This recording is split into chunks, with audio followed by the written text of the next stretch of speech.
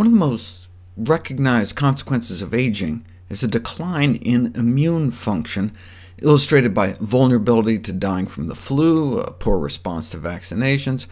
But about 20 years ago, a paper was published showing that the immune cells of 80-year-olds produce significantly more pro-inflammatory signals, suggesting the worst of both worlds, a decline in the part of the immune system that fights specific infections, but an aggravation of nonspecific overreactions that can lead to inflammation. This has since been formalized in a concept referred to as inflammaging, uh, chronic low-grade inflammation we now know is typical of aging, which may be responsible for the decline and the onset of disease in the elderly. So what can we do about it?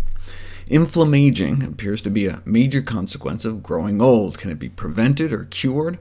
The key to successful aging and longevity may be to decrease chronic inflammation without compromising an acute response when exposed to pathogens.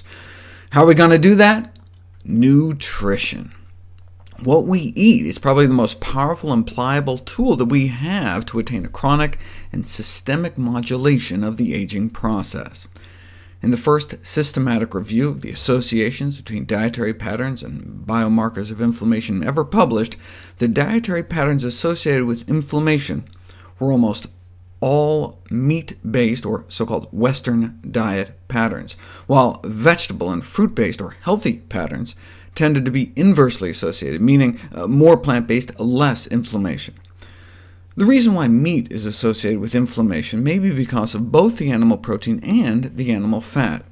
In the first interventional study that separately evaluated the effects of vegetable and animal protein on inflammatory status as it relates to obesity and metabolic syndrome when you're trying to lose weight, what they found was that a higher intake of animal origin protein, specifically meat, is associated with higher plasma levels of inflammatory markers in obese adults. Uh, the reason obesity is associated with increased risk of many cancers may be because of obesity-associated inflammation. Obesity-driven inflammation may stimulate prostaglandin-mediated estrogen biosynthesis in breast tissues.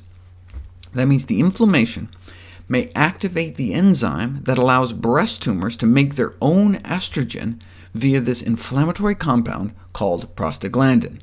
If you measure the level of prostaglandins in women's urine, it correlates with breast cancer risk. And how do you get high levels of this inflammatory compound? Smoking, a high saturated fat diet, and obesity. Why does eating saturated fat lead to prostaglandin production?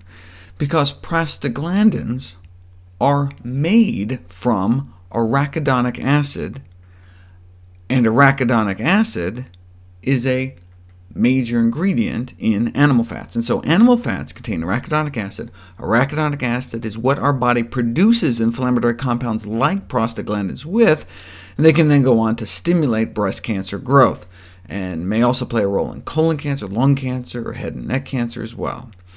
Whereas whole plant foods have anti-inflammatory effects, though some plants are better than others.